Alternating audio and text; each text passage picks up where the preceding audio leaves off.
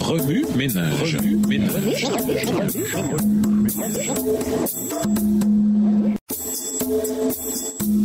Remue ménage. Remue ménage. Bienvenue à votre émission. Remue-ménage. Nous voilà à la leçon de mardi, mes chers amis.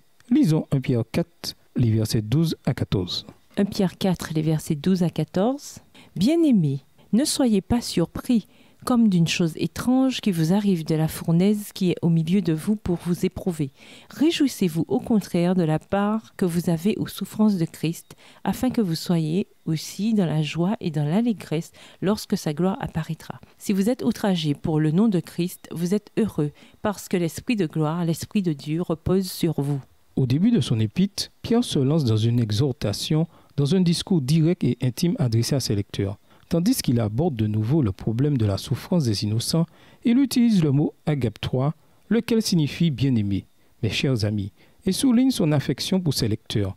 Ce terme affectueux correspond à son insistance sur l'amour agape et à sa loyauté familiale d'un bout à l'autre de son épître. Les épîtres de Pierre furent un guide précieux pour les premiers chrétiens de l'Asie mineure, la Turquie moderne, lors des premières persécutions.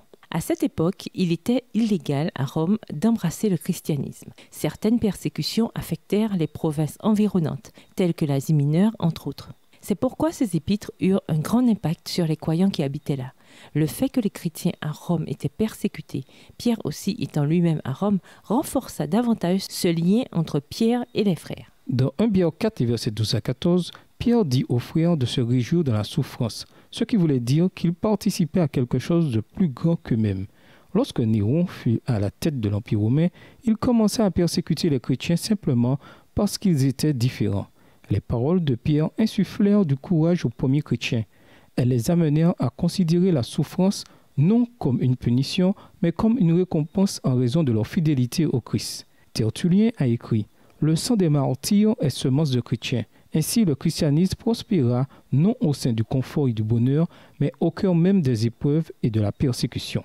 Les épîtres de Pierre sont connues parce qu'elles s'adressent à une communauté plus large dans le monde et invitent quiconque à accepter le salut, juif ou gentil. Certaines épreuves et persécutions sont plus pénibles que d'autres.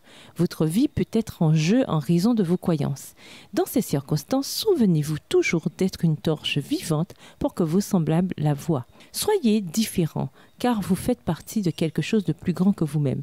Partagez votre foi dans les pires circonstances, sachant qu'à l'instar des premiers chrétiens, vous pouvez vous aussi vous réjouir dans la souffrance. Oui, Ménage, comment pouvez-vous partager votre foi à travers des circonstances difficiles? De quelle façon pouvez-vous encourager d'autres chrétiens à tenir ferme pendant les épreuves et les persécutions?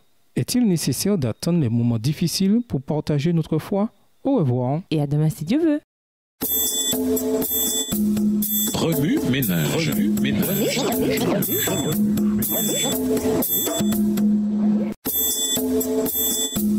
Remue ménage. Remue ménage.